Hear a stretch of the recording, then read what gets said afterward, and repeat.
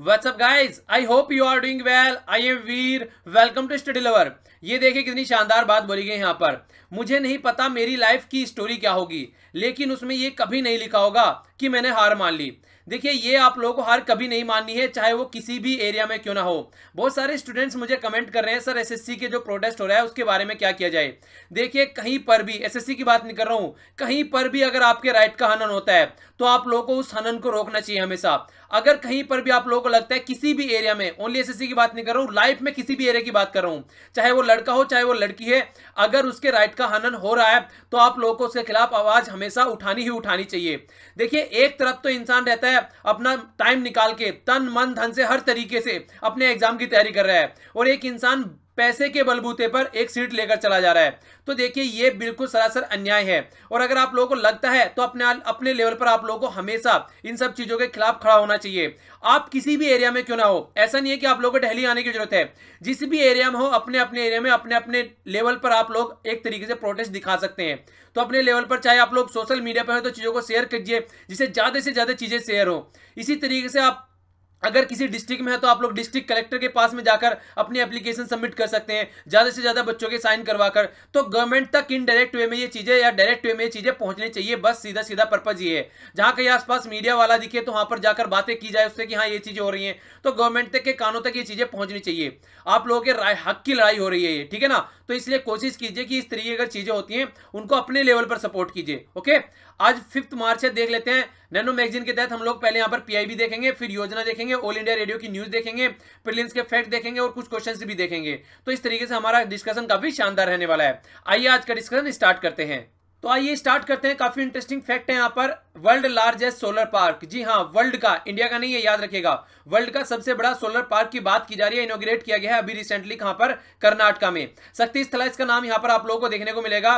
और आप लोगों को पता है गवर्नमेंट ऑफ़ इंडिया के द्वारा वन गीगावाट रिन्यूएबल एनर्जी बनाने की बात की जा रही है 2022 तक। इस 175 गीगावाट में आप लोगों को पता है 100 गीगावाट जो है, वो उसमें सोलर पैनल वाला सिस्टम है कि हाँ सोलर से जो हमको एनर्जी क्रिएट करनी है, उसके बारे में ज़िक्र किया जाता है। तो कहीं ना कहीं बहुत बड़ा रोल प्ले करने वाला है ये पार्क भी। तो इसमें देखने को मिलेगा, कर्नाटका ने यहाँ पर वर्ल्ड का लार्जेस्ट यहाँ पर सोलर पार्क बनाने के लिए इनोग्रेट स्टार्ट इनोग्रेट कर दिया गया, इसको बनाना स्टार्ट कर दिया गया है। तो कैपेसिटी कितनी है यहाँ पर? 2000 मेगावाट आप लोग यहाँ पर इसकी कैपेसिटी देखने को मिल रही है। और ये कैपेसिटी आप लोगों को कहीं ना कहीं बहुत बड़ा रोल प्ले करेगी। 100 गीगावाट सोलर पावर को अचीव करने में जो कि सेंटर का प्रोजेक्ट है ये। ठीक है? तो थोड़ा इसके बारे में आप लोग पता रखिएगा। यहाँ पर कर्नाटका की सोलर पॉलिसी है दो से दो तक की, जिसके तहत आप लोगों को देखने को मिलेगा इनका एम है कि किस तरीके से जो ट्रेडिशनल जो पावर रिसोर्सेज होते हैं इन्वायरमेंट फ्रेंडली होते हैं, उनको यूज़ किया जाएगा। और जो आप लोग देखेंगे यहाँ पर कोयला होता है, या फिर आप लोग को पेट्रोल डीजल ये सारे जो प्रोडक्ट रहते हैं, कम से कम उनका यूज़ किया जाएगा। ठीक है? तो थुमकुर ये डिस्ट्रिक्ट यहाँ पर कर्नाटका में आप लोग को देखने को मिलेगा। बेंगलोर से 180 किलोमीटर दूर है। यहाँ पर यह पार्क इनोग्रेट किया गया है। तो अगर पूछा जाए आप लोगों से तो थोड़ा आप लोगों इसके बारे में पता होना चाहिए। आइए अब नेक्स्ट आर्टिकल की तरफ़ को चलते हैं। नेक्स्ट है यहाँ पर ये एक रिचुअल है, आप लोगों को देखने को मिलेगी, इसका नाम है कुथियोत्तम रिचुअल इसके बारे में याद रख सकते हैं, अगर रिलीजन से रिलेटेड कोई बात आती है तो कई बार एग्ज़ाम में पूछ लिया जाता है। तो यहाँ पर है क्या? आप लोग थोड़ा पिक्चर में देखेंगे तो समझेंगे। देखिए, बच्चों को कई बार क्या होता है, कई सारे फेस्टिवल्स होते हैं, कई तरीके के आप लोगों को प्रोग्राम देखने को मिलते हैं सोसाइटी में। बच्चों को बहुत ज़्यादा वहाँ पर रिग्रेसिव प्रैक्टिस की जाती है, उनको सजाया जाता है, कई दिनों तक उनको खाना ना खाने के लिए कई तरीके की हरकतें की जाती हैं। आप लोग यहाँ पर देख सकते हैं, ये भी कुछ ऐसे यहाँ पर किया जाता है, केरला में। केरला में बच्चों को यहाँ पर त्योहार देखने को मिलता है, उसमें रिचुअल्स है कि बच्चों को एक सेना के रूप में तैयार किया जाता है। तो उसी के लिए यहाँ पर देखने को मिलेगा, इसको बोलते हैं कोथियत्तम रिचुअल्स तो यहाँ पर जो केरला का स्टेट कमीशन है। ठीक है ना? तो उसने एक श्यूमिटो एक्शन लिया है और एक खुद से यहाँ पर आप लोगों को देखने को मिलेगा कंप्लेन दर्ज की गई है कि जो यहाँ पर ये कुत्योत्तम रिचुअल होती है, बच्चों के राइट्स का हनन किया जाता है। तो चाइल्ड को प्रोटेक्ट करने की यहाँ पर बात की जा रही है। तो इस तरीके से अगर कोई रिचुअल्स यहाँ पर आती है तो आप लोगों को थोड़ा उसके बारे में पता होना चाहिए। तो नॉर्मली तो आप लोगों को देखने को मिलेगा यहाँ पर जो ये रिचुअल्स होती है, ये प्ले करती है सारी वुमेन पर लेकिन यहाँ पर लगभग वन थाउज़ेंड यंग बॉयज़ जो होते हैं, उनको सेवन डे की बहुत सारी प्रैक्टिस कराई जाती है कि किस तरीके से आपको वहाँ पे खड़ा होना है, एक सेना के रूप में उनको तैयार किया जाता है। तो कहीं ना कहीं प्रोटेक्शन ऑफ़ द जो वनरेबल ग्रुप होता है वनरेबल ग्रुप कौन सा होता है? बच्चे होते हैं, महिला होती है, बूढ़े होती हैं, उनके प्रोटेक्शन की बात की जा रही है और एक बैलेंस बनाने की बात की जा रही है कि जो हमारे राइट्स हैं और जो हमारे कस्टम्स हैं, उनमें एक बैलेंस होना चाहिए, यानी कि राइट का हनन करके आप लोग वहाँ पर अपने कल्चर कर रहे हैं। तो ये बात यहाँ पर बोली जा रही है। ये रिचुअल्स आप लोगों को बिफोर पोंगल जो पोंगल का डे होता है, आप लोगों को देखने को मिलेगा। उसके पहले यहाँ पर ये सेलिब्रेट की जाती है, उसके पहले यहाँ पर ये प्रैक्टिस की जाती है जो बच्चों को लिए। और ये कहीं ना कहीं आप लोग देखेंगे कि एक प्रेयर की जाती है भगवान के लिए, ठीक है? कि हमारी जो फ़सलें जो है, अच्छी हुई है, उन सब चीज़ों से रिलेटेड जो भी चीज़ें होती हैं, उन सब में चीज़ें परफॉर्म की जाती है। सेवन डे का आप लोगों को देखने को मिलेगा यहाँ पर। मतलब बच्चों को पहले बुला लिया जाता है टेंपल में और सेवन डे तक लगभग उनको एक स्ट्रिक्ट डिसिप्लिन में रखा जाता है, ठीक है? और उसके बाद में उनको परफॉर्म करने के लिए फिर बोला जाता है। तो कई तरीके की स्त्री जो रिचुअल्स होती हैं, आप लोगों को थोड़ा उसके बारे में पता होना चाहिए। अगर न्यूज़ में है किसी भी रीजन से और खासकर बच्चों के राइट के हनन की बात की जा रही है यहाँ पर। ये किस टेंपल के साथ में जुड़ी है ये भी इंपॉर्टेंट हो जाता है यहाँ पर। ये टेंपल है, ये मंदिर है यहाँ पर, अतुकल, भगवते टेंपल, तिरुवनंतपुरम में है ये केरला में। तो थोड़ा याद रखिएगा। ये आप लोगों को एक बात और यहाँ पर इंपॉर्टेंट है, ये फेस्टिवल जो है, ये आप लोगों को देखने को मिलेगा वर्ल्ड में सबसे ज़्यादा अगर कहीं पर वुमेन इकट्ठी होती है तो वो इस फेस्टिवल में होती है। फिर से बोल रहा हूँ इंडिया नहीं है वर्ल्ड है। वर्ल्ड में सबसे ज़्यादा वुमेन इकट्ठी होती है और वुमेन के द्वारा रिचुअल परफॉर्म की जाती है। ठीक है? तो थोड़ा सा इसके बारे में याद रखिएगा। कई बार क्वेश्चन बन जाते हैं तो थोड़ा सा इसके बारे में माइंड में क्लियर होना चाहिए। कर्नाटका आप लोग थोड़ा मैप में निहार लीजिए, यहाँ पर अभी हमने कर्नाटका के बारे में ज़िक्र किया, जहाँ पर सोलर पावर की बात की गई थी और ये हो गया यहाँ पर केरला। दोनों देख लीजिए, यहाँ पर कई बार आप लोगों से मैप प्रैक्टिस क्वेश्चन अगर पूछे जाए तो आप लोगों को कम से कम बाउंड्री पता होनी चाहिए कि इसकी बाउंड्री किससे मिल रही है। केरला को आप लोगों को देखने को मिलता है, दो स्टेट टच करते हैं ओनली तमिलनाडु हो गया, कर्नाटका हो गया। इसी तरीके से गोवा को दो स्टेट टच करते हैं, ऊपर महाराष्ट्र हो गया, नीचे कर्नाटका हो गया। तो कई सारे स्टेट इस तरीके से पूछे जाते हैं आप लोगों से, ठीक है? जो भी न्यूज़ में हुआ करे, थोड़ा सा उसकी बाउंड्री जाकर मैप में एक बार निहार लिया करो। नेक्स्ट यहाँ पर आर्टिकल है बॉम्ब साइक्लोन। सबसे पहले आप लोगों से क्वेश्चन यही पूछा जाएगा कि कहाँ पर ये है? यह है United State of America. USA. थोड़ा सा लोकेशन देखिए, आप लोग मैप में इसको देखेंगे तो समझ जाएँगे। ये वाला एरिया आप लोगों को देखने को मिल रहा है यहाँ पर, ठीक है? ये देखिए यहाँ पर ये यूएसए हो गया, आप लोगों को देखने को मिल रहा है ये वाला एरिया अगर थोड़ा सा दूसरे मैप में देखे तो आप लोग समझ पाएँगे, इस वाले एरिया की बात की जा रही है, ठीक है?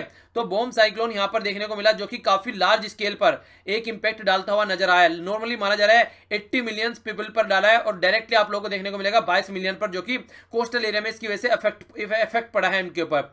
नॉर्मली देखिए क्या बात बोली जा रही है यहाँ पर इस तरीके का जो साइक्लोन है, उसके बारे में थोड़ा बताया जा रहा है। आप लोगों ने मान, आप लोगों ने जैसे मानसून के बारे में मानसून के बारे में सुना होगा, हमारी कंट्री में कैसे आती है, जैसे मान लीजिए यहाँ पर क्या होता है, ये टेम्परेचर और प्रेशर के डिफरेंस की वजह से सारी एक्टिविटी होती है। जिस तरीके से आप लोगों को देखने को मिलेगा, अगर प्रेशर यहाँ पे प्रेशर ज़्यादा है और यहाँ पे प्रेशर कम है। ठीक है तो क्या होगा? इधर से इधर की तरफ़ को आप लोगों को देखेगा, हवा यहाँ पर चलने लगती है। ऐसा ही कुछ होता है और जब जब टेम्परेचर बढ़ता है तो वहाँ पर प्रेशर कम हो जाता है।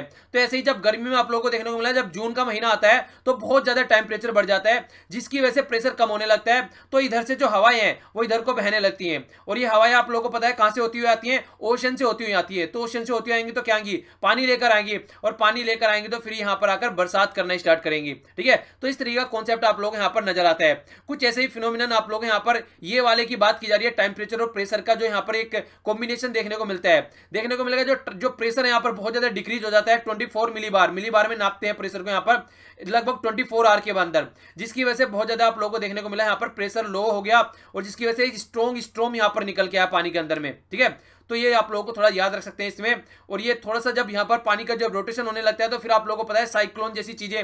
और कई बार ये एक्टिविटी आप लोगों को अपने रीजन में भी होती दिखती है। हमने आप लोगों ने कई बार डिस्कस कर चुके हैं पास्ट में, कई सारे साइक्लोन आप लोगों को आते हुए नज़र आते हैं। तो खासकर कोस्टल एरिया पे जो लोग रहते हैं, उस पर बहुत ज़्यादा इंपैक्ट डालते हैं। तो साइक्लोन का नाम याद रखिए, किस एरिया में थोड़ा ये याद ज़रूर रख लीजिएगा। ओके आइए अब आगे चलते हैं। नेक्स्ट है न्यूक्लियर पावर प्लांट के बारे में। और ये इंपॉर्टेंट किस लिए है? ये एक तरीके से कई सारी कंट्री के बीच में रिलेशन भी शो कर रहा है। न्यूक्लियर पावर प्लांट बनाने की बात की जा रही है कहाँ पर? बांग्लादेश में। बांग्लादेश में बात की जा रही है, पर मिलकर कौन बना रहा है यहाँ पर? आप लोगों को देखने को मिलेगा, इंडिया हो गया, बांग्लादेश हो गया, रशिया। तो ये एक ट्राई पार्टाई मतलब तीन कंट्री का मिला के एक मोमरेंडम ऑफ़ अंडरस्टैंडिंग यहाँ पर साइन किया गया है, जिसके बेस पर यहाँ पर आने वाले टाइम में। रोपपुर ये एरिया है यहाँ पर बांग्लादेश में, जहाँ पर न्यूक्लियर पावर प्लांट बनाने की बात की जा रही है। तो इंडिया देखिए, अपनी कंट्री में तो हम न्यूक्लियर पावर प्लांट बना रहे हैं, बांग्लादेश में भी बना रहे हैं, ताकि आने वाले टाइम में हम एनर्जी में एक दूसरे की हेल्प करें, और आने वाले टाइम में एनर्जी से रिलेटेड प्रॉब्लम को दूर किया जा सके। Russia nuclear power plant Bangladesh में बना रहा है। आप लोगों को नॉर्मली देखने को मिलेगा। ये ऐसे हैं जिस तरीके से आप लोगों को कई बार अलग अलग कंट्री में देखिए, दो कंट्री हैं जो बहुत ज़्यादा लार्ज स्केल पर देखने को मिलती है। तीन आप लोग बोल सकते हैं वैसे। एक तो हो गया रसिया, दूसरा हो गया यूएसए और तीसरा हो गया फ्रांस मैक्सिमम हमारी कंट्री में आप लोगों को तीनों कंट्री के यहाँ पर हमारी हमारी कंट्री में जो न्यूक्लियर पावर प्लांट है, वो कहीं ना कहीं अंडर प्रोसेसिंग है या कुछ कंप्लीट हो चुके हैं। तो इसी तरीके से यहाँ पर भी ये रोल प्ले कर रहे हैं और इंडिया भी यहाँ पर एज ए पार्ट यहाँ पर इंडिया भी इन्वॉल्व है कि कई सारे इक्विपमेंट वगैरह सप्लाई किए जाएँगे और किस तरीके से देखिए, हर एक कंट्री में क्या होता है एनर्जी सिक्योरिटी की बात होती है। तो कहीं ना कहीं बंगला भी, बांग्लादेश भी दूसरी कंट्री के ऊपर डिपेंड नहीं करेगा और खुद की एनर्जी सिक्योरिटी कर पाएगा। तो इसलिए बहुत बड़ा रोल प्ले करेगा ये न्यूक्लियर पावर प्लांट बांग्लादेश में। आइए एक मैप प्रैक्टिस क्वेश्चन देखते हैं। कई बार इस तरह क्वेश्चन आप लोगों से पूछ ले जाते हैं और कई बार इस तरह की इंपॉर्टेंट इन्फॉर्मेशन आप लोगों को पता होनी चाहिए। बात की जा रही है चेक रिपब्लिक के बारे में। नॉर्मली आप लोगों को मैप में नहीं हारेंगे तो जूम करके इसको देखना पड़ेगा। जर्मनी हो गया यहाँ पर पोलैंड हो गया यहाँ पर, ठीक है? स्लोवाकिया हो गया यहाँ पर और ऑस्ट्रिया हो गया यहाँ पर और ये हो गया हंगरी यूरोप में कंट्री पड़ गया चेक रिपब्लिक ठीक है ना? और यहाँ पर देख सकते हैं प्राग क्या हो गया इसके यहाँ पर? प्रज्ञ या प्राग बोले आप इसको। ये हो गई यहाँ पर इसकी कैपिटल तो इसके बारे में थोड़ा पता होना चाहिए, ये क्वेश्चन कई बार पूछ लिया गया है अब तक। तो इसको याद रखिएगा थोड़ा। इंटरेस्टिंग फैक्ट क्या है इस कंट्री के बारे में? यहाँ पर मैक्सिमम आप लोगों को देखने को मिलेगा ये कंट्री कई एरिया में बहुत ज़्यादा आगे है। मतलब जो आप लोगों को देखने को मिलेगा ह्यूमन डेवलपमेंट इंडेक्स हो गए, या फिर जब बात आती है यहाँ पर रिलीजन की तो यहाँ पर लोग ये बोलते हैं कि हमको रिलीजन डिक्लेयर करना ही नहीं है। मतलब फोर्टी आप लोगों को देखने को मिलेगा फोर्टी लोग ऐसे हैं यहाँ पर जिन्होंने अपना रिलीजन डिक्लेयर कर ही नहीं रखा है। मतलब एक सेक्युलर कंट्री के रूप में यहाँ पर इसको देखते हैं। ये बोलते हैं कि हम सब मिलजुल कर रहेंगे यहाँ पर और इनको ये नहीं मानना है कि हम उस रिलीजन के इस रिलीजन के सब यहाँ पर मिलजुल कर रहेंगे और इन्जॉय करेंगे, ठीक है? तो इस तरीके से देख कितना इंटरेस्टिंग फैक्ट है। अगर हमारी कंट्री में भी कुछ ऐसा हो जाए तो कितनी शानदार चीज़ें हो जाए। आधी लड़ाई तो वैसे ही खत्म हो जाए लोगों की। अगर हम लोग भी ये सोचने लगे कि कोई रिलीजन नहीं है, हमारा बस हम इंसान है और मिलजुल कर रह रहे हैं, अपनी लाइफ को एंजॉय करना है। आधे से ज़्यादा फिफ्टी परसेंट प्रॉब्लम आज की आज ही सोल्व हो जाएँगी, अगर ये इंप्लीमेंट हम लोग कर पा रहे हैं। पर लेकिन देखिए, ये चीज़ें मतलब जहाँ कंट्री में जिसमें है, वहाँ पर इतने अच्छा डेवलपमेंट होता हुआ दिखाता है और हम लोग इन्हीं के चक्कर में रहते हैं, लड़ते भिड़ते रहते हैं, इसी की वजह से हमारे यहाँ पर प्रॉब्लम देखने को मिलती है। तो यूरोपियन यूनियन की कंट्री आप लोगों को नॉर्मली देखने को मिलेगा और काफ़ी अच्छी इकोनॉमी भी यहाँ पर आप लोगों को इसकी नज़र आएगी, ठीक है? तो थोड़ा सा इसके बारे में आप लोग याद रख सकते हैं। और कई बार आप लोगों से इस तरह क्वेश्चन पूछ ले जाते हैं कि ये कंट्री दे देंगे, आप लोगों को मैप में बोलेंगे क्या कंट्री है ये। ठीक है लैंड लोक कंट्री या नहीं है तो ये एक आप लोगों को लैंड लोक कंट्री नज़र आएगी यहाँ पर। तो थोड़ा वो भी आप लोग बात याद रख सकते हैं। ठीक है करेंसी भी आप लोग यहाँ पर इसकी देख सकते हैं।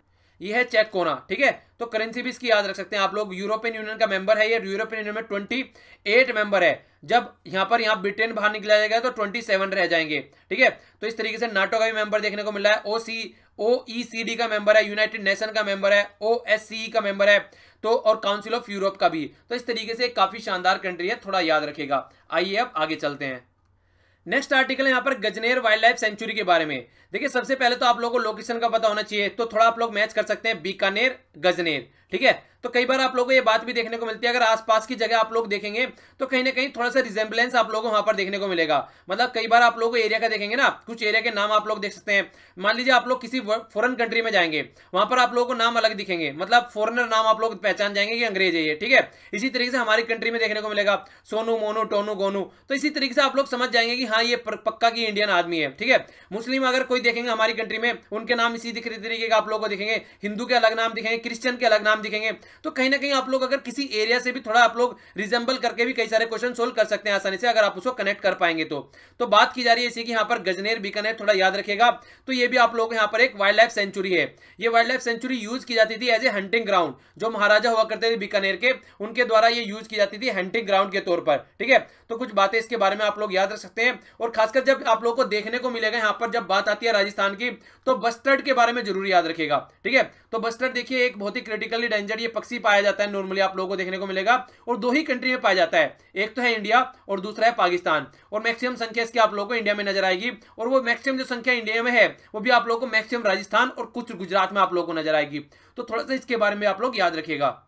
और कई बार आप लोग कई चीज़ें और देखने को मिलती है जिस तरीके से पर्टिकुलर एरिया में अगर कोई भी यहाँ पर जानवर खत्म हो जाते हैं तो वहाँ पर फिर से लाके किसी दूसरे एरिया से रीइंट्रोड्यूस किए जाते हैं। तो ये साइट भी सेलेक्ट की गई थी चीता को रीइंट्रोड्यूस करने के लिए प्रोजेक्ट के तहत यहाँ पर ओके इसके अलावा आप लोग यहाँ पर लेक भी नज़र आ रही है। तो कुछ थोड़े कुछ थोड़े एरिया है यहाँ पर, कई बार नाम ही आप लोगों से पूछ ले जाते हैं, बस नाम के ऊपर ही क्वेश्चन आप लोगों का सोल्व हो जाएगा, ठीक है? अच्छा आप लोग जब भी कोई पेपर होते हैं तो आप लोगों से एक रिक्वेस्ट है, जब भी कोई आप लोग पेपर देके आते हैं तो नीचे आप लोग क्वेश्चन पोस्ट क्या कीजिए, ठीक है ना? जैसे लीजिए कोई पेपर देके आ रहे हैं, आपको लेटेस्ट कोई पेपर होता है तो नीचे आगे क्वेश्चन बताया कीजिए कि इतना क्वेश्चन आया आप लोगों को। जैसे मान लिया आर्टिकल डिस्कस करते हैं हम लोग तो बताया कीजिए करंट अफेयर कितने क्वेश्चन थे आप लोग, कितने मिल गए, ताकि मुझे भी अच्छा लगे कि हाँ पढ़ाई जो सही डायरेक्शन में जा रही है, और और भी बच्चे कमेंट पड़े उनको भी लगे कि हाँ सही चीज़ें हो रही है, ठीक है? उससे आप लोगों का ट्रस्ट बढ़ेगा, उससे आप लोग और अच्छे से पढ़ाई कर पाएँगे।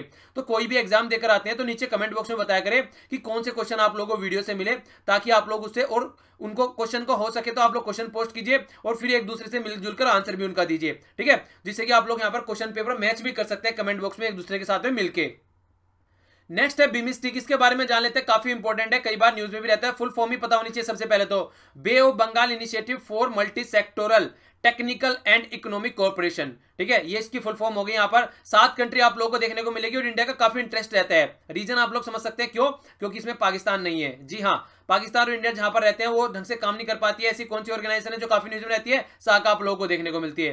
पर बिमिस्टिक में पाकिस्तान नहीं है, इसलिए काफ़ी अच्छे से वर्क करती है। सात कंट्री कौन कौन सी है? पहले तो आप लोगों को पता चल गया इंडिया हो गया यहाँ पर। बांग्लादेश म्यांमार श्रीलंका थाईलैंड भूटान और नेपाल ठीक है, कई बार आप लोग से पर्टिकुलर कंट्री पूछ लिया जाता है, तीन कंट्री दे देगा आप लोग को। बोलेगा कि तीन कंट्री के तो जो नाम होंगे, वो नहीं होंगे। और एक कंट्री रहेगा जिसका नाम होगा। ऐसे बोल सकते हैं या फिर आप लोगों को देखने को मिलेगा, चार के जो नाम है, वो इसमें से दे देगा, उठा के एक बोलेगा, कौन सा इसका पार्ट नहीं है। तो थोड़ा सा आप लोग, खासकर जो न्यूज़ में रहती है, बहुत ज़्यादा न्यूज़ में है ये। ठीक है? जब जब बात आती है साग की तो तब तब न्यूज़ में आती है और इंडिया बहुत ज़्यादा फोकस देकर चल रहा है। बिमिस्टिक पर तब से यहाँ पर जब से साग की जो मीटिंग नहीं हो रही है और साग पे ज़्यादा फोकस नहीं दिया जा रहा है, अपने इस वाले रीजन पे तो कम से कम फोकस किया जाए, जो कि ईस्टर्न वाला रीजन है। तो नॉर्थ ईस्ट आप लोग देख सकते हैं एक्ट ईस्ट पॉलिसी की हम लोग बात करते हैं। तो इसलिए काफ़ी इंपोर्टेंट ये पोर्सन हो जाता है। ओके तो इसके बारे में थोड़ा आप लोग याद रखिएगा। इसके अलावा चेयरमैनशिप तो इसकी रोटेट होती रहती है, पर परमानेंट सेक्रेटरीट आप लोग यहाँ पर ढाका में देखने को मिलेगा ओके और फ्री ट्रेड यहाँ पर कई बार बात की जाती है फ्री ट्रेड एग्रीमेंट को लेकर अंडर नेगोशिएशन अभी चल रहा है। इसके अलावा आप लोगों को देखने को मिलेगा फोर्टीन यहाँ पर प्रायोरिटी सेक्टर इन्होंने सेट कर रखे हैं कि इन इन एरिया में हम लोग को डेवलपमेंट करना है और मिलकर वर्क करना है। मतलब जब यहाँ पर एक कॉमन एजेंडा बनाएँगे, तभी तो वर्क कर पाएँगे ना। देखिए यहाँ पर जो डेटा है थोड़ा पुराना है 2014 का है ठीक है ना? तो थोड़ा याद रखिएगा इसको। बात की जा रही है 1.5 बिलियन लोग हैं, लगभग, और 2.5 ट्रिलियन लगभग आप लोगों को इकोनॉमी नज़र आती है। हालाँकि इतनी लगभग इंडिया की हो चुकी है, अब डेटा थोड़ा अपडेट हो चुका है, पर थोड़ा सा आप लोग थोड़ा माइंड में रखने के लिए थोड़ा इसको याद रख सकते हैं। तो इस तरीके से आप लोग देखेगा एक बहुत अच्छा एरिया है, और यहाँ पर अगर अच्छे से मिलकर यहाँ पर काम किया जाएगा तो कई सारे प्रोजेक्ट चलाए जा सकते हैं। एक शॉर्ट एरिया की एक अच्छी इकोनॉमी यहाँ पर निकलकर सामने आ सकती है, ठीक है? तो इसके बारे में थोड़ा याद रखेगा बिमिस्टी के बारे में। आइए अब आगे चलते हैं। नेक्स्ट हमारी यहाँ पर चल रही है योजना और योजना में हम लोग डिस्कस कर रहे हैं यहाँ पर क्या? GST goods and service tax तो उसके बारे में थोड़ा और डिटेल में जानते हैं यहाँ पर। जब बात आती है फेडरल रिलेशन की मतलब संघवाद के ढांचे की, जब यहाँ पर आप लोगों को देखने को मिलता है ट्वेंटी नाइन स्टेट है और सेवन यूनियन टेरेटरी है। सेंटर के साथ मिलकर काम कर रहे हैं अच्छे से। आप लोगों को देखने को मिलेगा सबसे शानदार जो अभी लेटेस्ट उदाहरण है ये है जीएसटी को पास करने का। जीएसटी को जो पास किया गया है, ये 29 स्टेट सात यूनियन टेरिटरी और सेंटर मिलकर यहाँ पर काम कर पाए तभी जीएसटी को पास किया गया और जीएसटी में आप लोगों को जो देखने को मिलता है, वो इनडायरेक्ट टैक्स है। मतलब आप लोग डायरेक्ट गवर्नमेंट को पे नहीं करते हैं टैक्स ये टैक्स इनडायरेक्ट वे में गवर्नमेंट तक पहुँच जाता है। आप लोग जो भी सामान खरीद कर लाते हैं, उस पर टैक्स पे करते हैं और इनडायरेक्ट वे में गवर्नमेंट तक पहुँचता है। तो इसी तरीके से यहाँ पर देखने को मिलेगा इनडायरेक्ट टैक्स बोलते हैं वन टैक्स बना दिया गया, पर फिर भी यहाँ पर आप लोगों को देखने को मिलेगा, लगभग 45 परसेंट जो टैक्स है इनडायरेक्ट वो यहाँ पर कवर नहीं है, जो कि यहाँ पर कलेक्ट किया जाता है। रियल इस्टेट देखने को मिलेगा, जो घर वगैरह बनाए जाते हैं बिल्डर्स जो होते हैं बिल्डिंग बनाते हैं। पेट्रोलियम प्रोडक्ट देखने को मिलेगा, जो भी यहाँ पर आप लोग डीजल पेट्रोल देख सकते हैं। एल्कोहल बीवरेज देखने को मिलेगा, जो भी यहाँ पर शराब, दारू वगैरह जो बेची जाती है। ये आज की डेट में भी जीएसटी के बारे हैं क्वेश्चन डायरेक्ट बन सकता है कि तीन प्रोडक्ट दे देगा आप लोगों को। कौन सा इनमें जीएसटी के अंदर है और कौन से नहीं है? तो इस तरीके से छांटने के लिए कोई सा भी क्वेश्चन आ सकते हैं तो थोड़ा सा इस पर फोकस देकर चलिएगा। नॉर्मली देखने को मिलेगा, आखिर ऐसा क्यों किया गया? देखिए, जो स्टेट है, उनको आप लोगों को देखने को मिलेगा मैक्सिमम जो टैक्स का कलेक्शन है वो यहीं से होता है। अगर ये भी यहाँ पर डायरेक्ट इसके अंडर में डाल दिया जाएगा तो कई सारी प्रॉब्लम यहाँ पर क्रिएट हो जाएगी। उनके पास खुद का कोई पैसा ही नहीं रहेगा मतलब खुद की कोई ऑटोनॉमी नहीं रहेगी, खुद की कोई एक तरीके से आप लोग बोल सकते हैं इंडिपेंडेंसी नहीं रहेगी कंप्लीटली सेंटर के ऊपर डिपेंड हो जाएँगे। तो कहीं ना कहीं सारे स्टेट चिल्ला रहे थे और तमिलनाडु ने तो मना भी कर दिया था, बहुत ज़्यादा अपोज किया जीएसटी का, क्योंकि उसको पता था कि वो एक कहीं ना कहीं आप लोगों को देखने को मिला, काफ़ी डेवलप्ड एरिया है वहाँ पर और काफ़ी कुछ कलेक्शन होता है वहाँ पर इन सब चीज़ों से। तो इसलिए वहाँ पर बोला था कि हम लोगों को बहुत ज़्यादा नुकसान होने वाला है अगर कल को जीएसटी को इंप्लीमेंट किया जा सकता है। ये बात आप लोगों ने देखी हुई होगी, उस टाइम पर जयललिता जी भी कई बार बातें बोलती थी कि हम जीएसटी को कभी भी अपने स्टेट में इंप्लीमेंट नहीं करने देंगे। पर लेकिन फिर भी सबको मिला जुला के बात करके चीज़ों को यहाँ पर बताया गया कि हाँ एक टैक्स बनाते हैं ऑल ओवर कंट्री में और फिर उसको इम्प्लीमेंट करते हैं। पर लेकिन जब देखे अगर आरबीआई की रिपोर्ट की भी माने तो उसके द्वारा भी वॉर्न किया गया था कि बहुत ज़्यादा अनसर्टेनिटी यहाँ पर देखने को मिल सकती है, जो कि रिवेन्यू जाएगा स्टेट के पास में।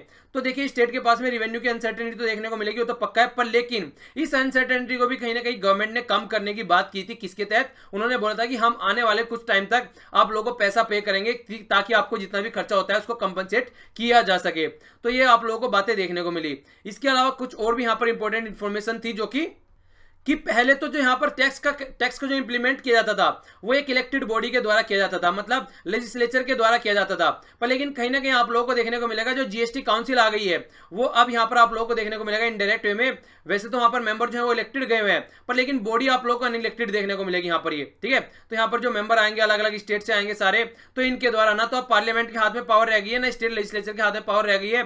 इंप्लीमेंट करने के अक्रॉस कंट्री में कहीं ना कहीं जीएसटी की काउंसिल के हाथ में पावर आ गई है। तो कुछ चीज़ें अच्छी हैं कुछ चीज़ें बुरी हैं, पर लेकिन ओवरऑल डेवलपमेंट देखा जाए तो इतना बड़ा डेवलपमेंट आज तक किसी कंट्री में देखने को नहीं मिला है। टैक्स स्ट्रक्चर से रिलेटेड जितना आप लोग यहाँ पर देखने को मिला है और ना ही आज तक हमारी कंट्री में हुआ है।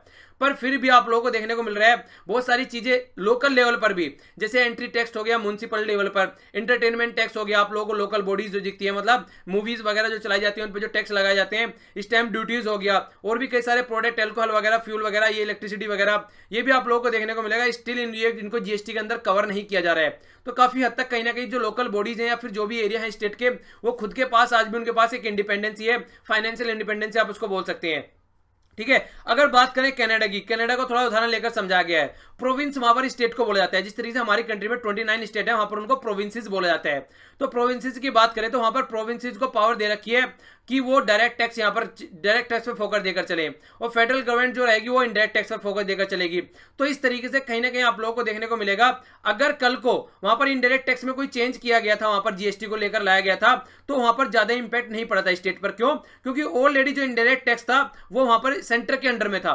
आप लोगों को देखने को मिला फेडरल गवर्नमेंट के अंडर में था, ठीक है? पर लेकिन जब हमारी कंट्री में बात आती है तो हमारी कंट्री में आप लोगों को ऐसा नहीं नज़र आएगा। हमारी कंट्री में मिक्स आप लोगों को देखने को मिलता है, एक मिक्सचर एक एक आप लोगों एक आप लोगों को एमलगेमेशन देखने को मिलता है कि मिक्सचर आप लोगों को यहाँ पर देखने को मिलता है। तो उसी के बारे में बात की जा रही है कि हमारी कंट्री में ये इंप्लीमेंट करना इतना आसान नहीं है, और आप लोगों को वो देखने को भी मिला किस तरीके से कितने जद्दोजहद करके इसको इंप्लीमेंट यहाँ पर किया जा रहा है हमारी कंट्री में। तो बहुत बड़ा आप इसको चेंज बोल सकते हैं। ऐसा नहीं है कि आसानी से किया गया, काफ़ी बड़ा आप एक चेंज निकल कर आया और जो ओवर द टाइम कहीं ना कहीं जो इंडियन पॉलिटी को भी कहीं ना कहीं बहुत लार्ज स्केल पर डिसाइड करेगा, चीज़ों को चेंज करता हुआ नज़र आएगा। ठीक है? तो थोड़ा सा इसके बारे में आप लोग याद ज़रूर रखिएगा। तीन क्वेश्चन है क्वेश्चन को पढ़िएगा, आराम से आंसर दीजिएगा। पहला है ग्लोबल रिस्क रिपोर्ट के बारे में क्या है? क्वेश्चन को पढ़िएगा, अच्छे से आंसर दीजिएगा। स्टैक इन्फ्लेशन के बारे में डिस्कस किया गया है। स्टैक फ्लेशन जिसको बोलते हैं, ये क्या होता है? इकोनॉमी की टर्म है, इसको भी देखिएगा थोड़ा। नेक्स्ट यहाँ पर मिक्सड इकोनॉमी के बारे में ज़िक्र किया गया है। तो थोड़ा सा इस पर ध्यान दीजिएगा और क्वेश्चन का आंसर ज़रूर दीजिएगा। नेक्स्ट जो क्वेश्चन मैंने आप लोगों से पूछे थे, उनका आप लोगों के सामने आंसर है। जीएसटी के बारे में आप लोगों से पूछा था, कौन सी कंट्री है जहाँ पर फ़र्स्ट टाइम आप लोगों को ये कॉन्सेप्ट देखने को मिला?